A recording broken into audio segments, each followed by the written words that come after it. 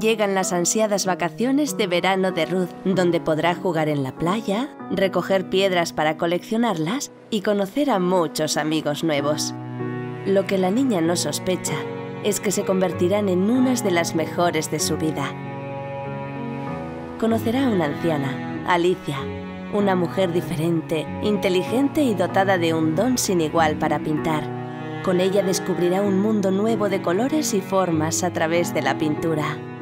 Poco a poco su amistad se hará cada vez más sincera y profunda, hasta el punto de que compartirán sus miedos y preocupaciones. Juntas aprenderán la una de la otra a afrontarlos. Ruth entenderá de la mano de Alicia lo que ocurre cuando los recuerdos te abandonan y que a pesar de las adversidades puedes poner de tu parte para combatirlas.